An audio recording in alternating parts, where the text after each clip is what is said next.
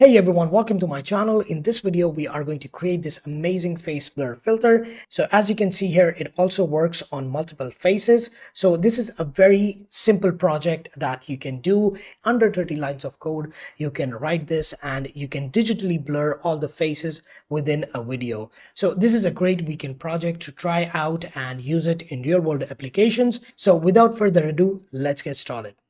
This video is sponsored by Brilliant.org. They provide interactive and a wide range of courses. Brilliant teaches you the fundamental concepts underlying a variety of subjects, including algebra, statistics, algorithm, programming, and much more. You will be able to answer equation related problems even when it is impossible to manually solve them if you are familiar with graphs and their relationship to the equations that they present. If you are just starting your exploration of geometry or algebra, Brilliant provides with the best courses. To try everything Brilliant has to offer for 30 full days, visit brilliant.org slash Murtaza or click the link in the description below. The first 200 viewers will get 20% off Brilliant's annual membership. Do you want to implement your computer vision ideas to solve real-world problems? Or upgrade your resume by enhancing your computer vision skills? Then the computervision.zone is the perfect platform for you. CVZone is a one-stop computer vision platform with over 100,000 users with courses sold in over 80 different countries. If you want to commercialize your computer vision ideas, then the Computer Vision Web Development course is the perfect course for you. Here you will learn the basics of web development and computer vision as well as how to integrate them to solve real-world problems like customer engagement, car counter, face attendance, shirt size measurement, and a lot more. Advanced Drone Programming is another great course that focuses on the practical implementation. Here you will learn the basics of drone programming as well as advanced concepts like face following, body following, gesture control, and a lot more. If developing mobile apps is your thing, then check out our Computer Vision Mobile Apps course. Here you will learn the basics and create several apps including object detection, augmented reality, face detection, document scanner, and a lot more. The best part is that you will create a single app that will work both on iOS and Android.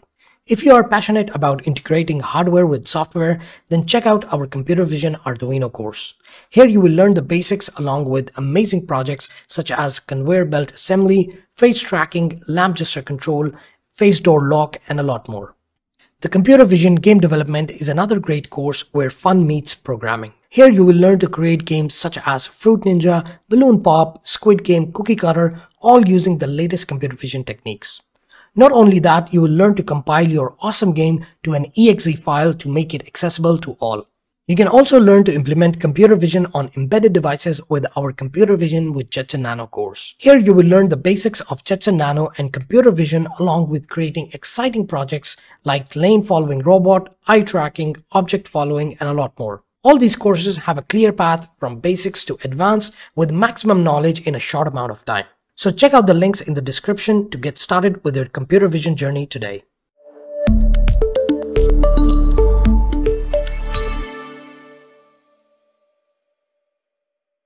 So the first thing we will do is to go to our new project. This is PyCharm. If you're not familiar with this, it's the PyCharm IDE. And what you have to do is you have to create a new project we are calling it the face blur. So you will go to file settings and then we are going to install our packages which we can do in projects interpreter and then add. So here what we need is cvzone uh, that is our base package. It will install opencv for us and we also need media pipe. Media pipe package uh, that will allow us to detect the face. So now you can use any face detector that you want. We are going to use the one that is provided by Google by the name MediaPipe. And uh, the CVZone actually is a library, it's a wrapper that will allow you to work with MediaPipe a bit uh, more easily, I would say. So, and then of course we do need to check if OpenCV is working fine. The latest version had an issue where it does not auto recommend. So we have to check if that works. If it doesn't work, then we can always downgrade it to a previous version. So right now it's installing the packages, both of them. So once they are done, then we are going to try out. Okay, so both the packages have been installed and now what we can do is we can write import cv2 and here we are going to write cap equals cap equals cv2 dot video. So as you can see it does not recommend uh, so what, what we can do is we can downgrade OpenCV. So we can go to settings and the OpenCV Python. Uh, we can double click on that specify version and go to 4.5.4.60 so this is the one I've been using and it works fine. So that's why I recommend you install that too.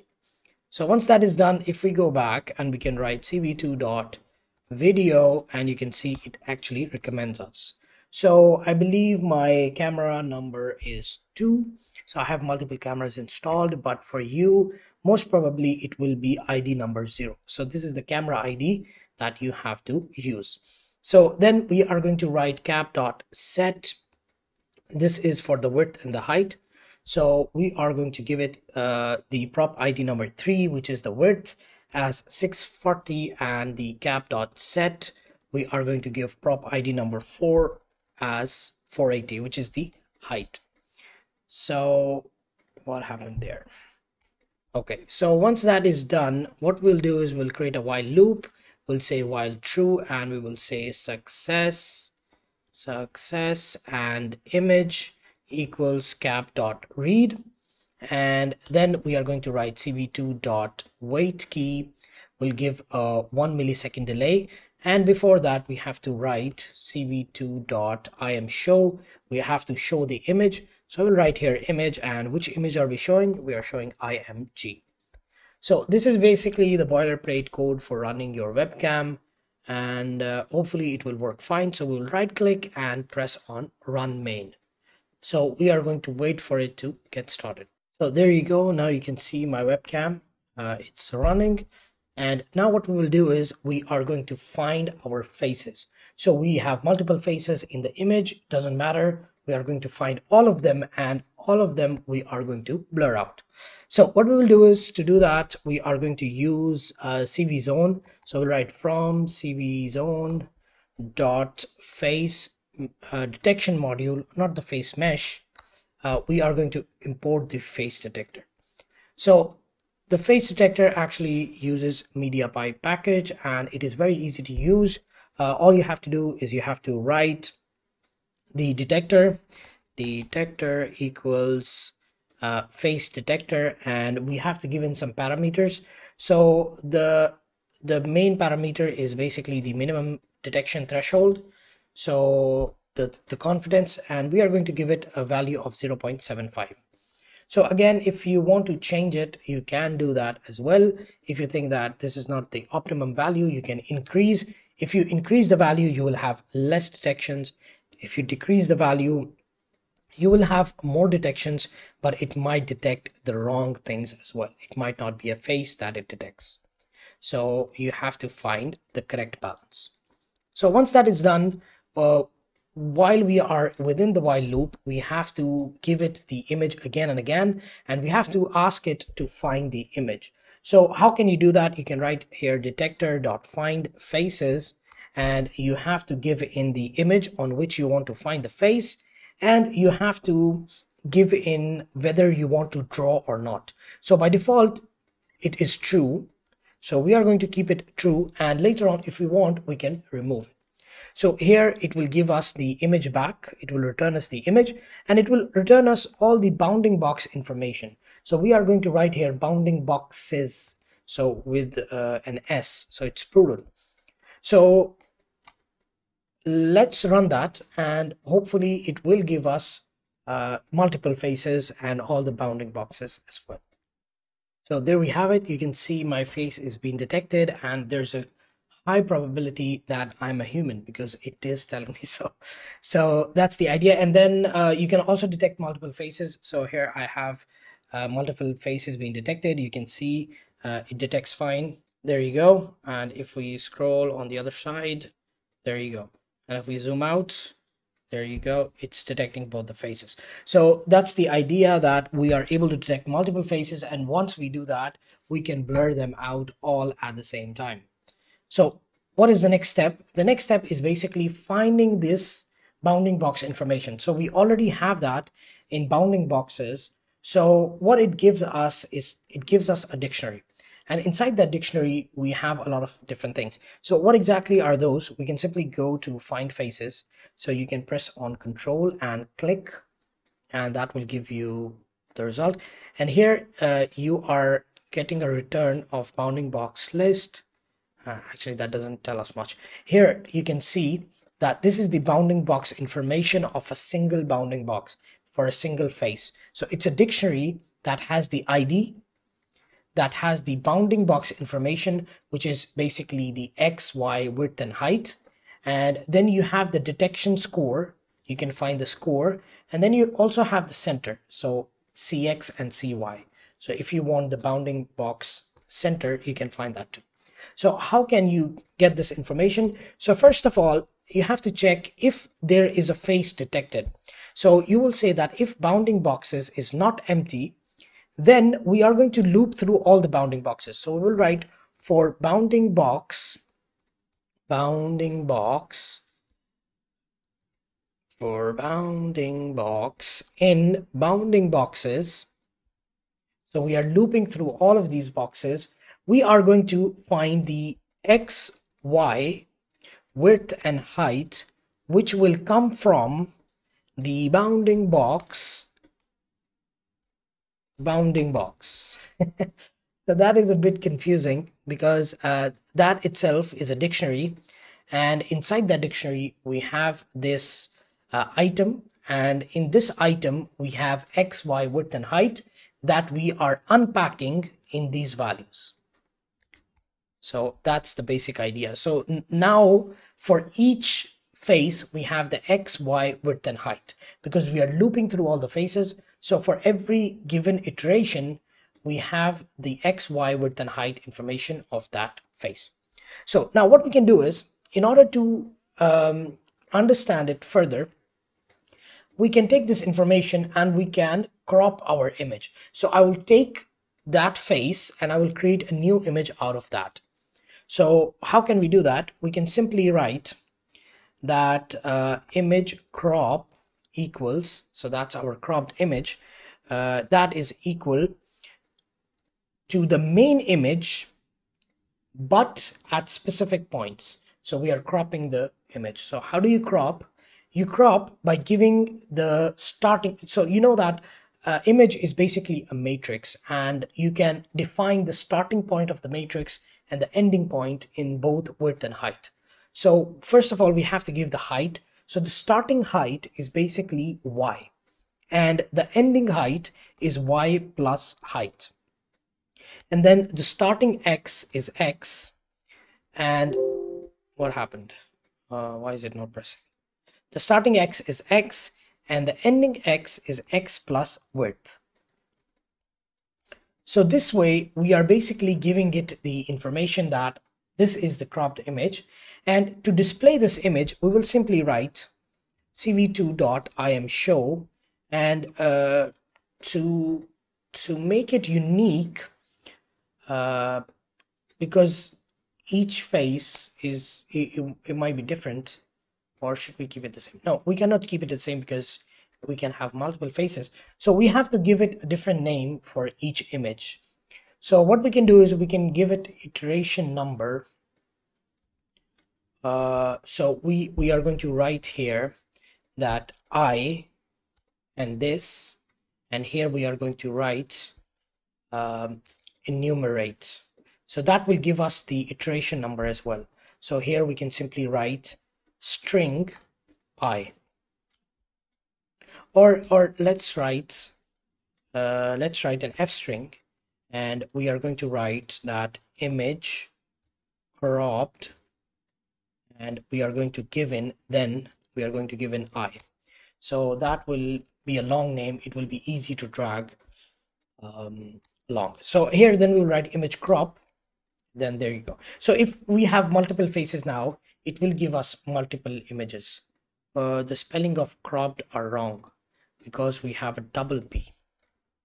Okay so yeah that's that's fine and let's run it and see if it works So there you go. We are getting a face and this is the cropped face uh, that we are getting. And if we bring in another face, there you go. We have another face like that. And I'm getting another image here and it's very difficult to drag it.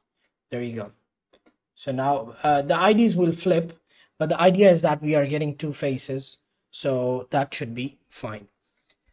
So that's good. And now what we will do is once we have this, uh, what we need to do is we need to blur it and then we need to put it back on our image.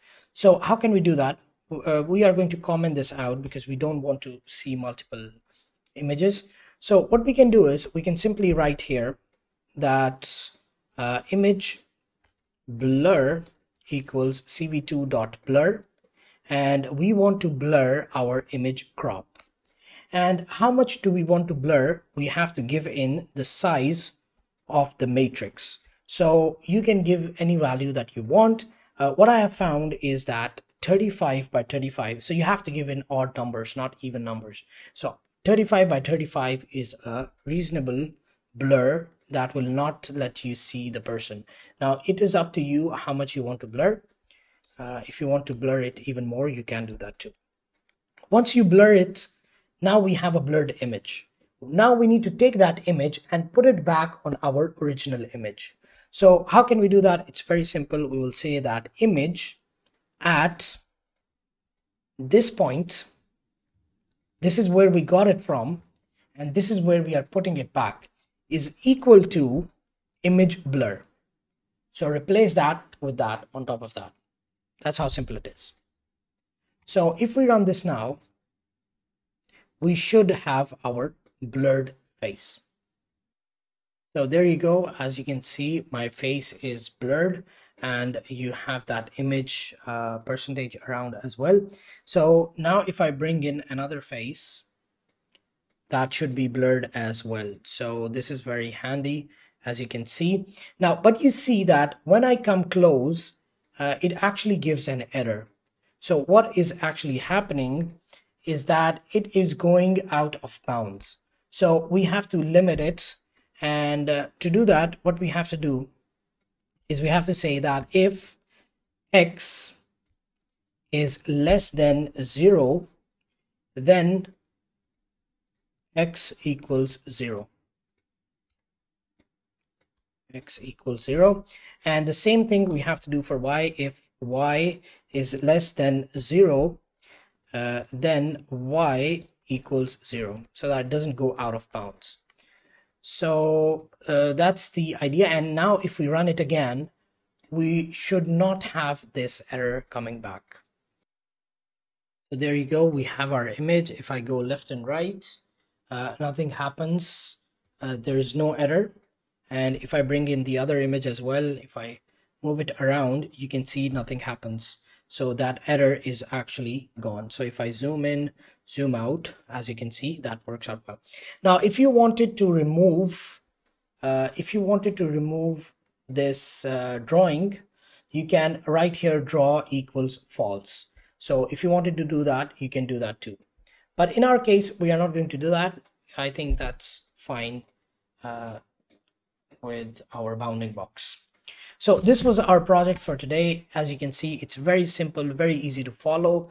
And uh, under 30 lines of code, we have written this blur filter and this will work on multiple faces and it is quite useful, especially in a lot of uh, cases in television where you have to blur out uh, confidential interviews or if you do not get permission from the uh, actual person you can blur them out digitally rather than putting trackers and um, blurring them or using other different methods. So this is it for today. I hope you have learned something new. If you like the video give it a thumbs up. If you loved it share it with your friends and i will see you in the next one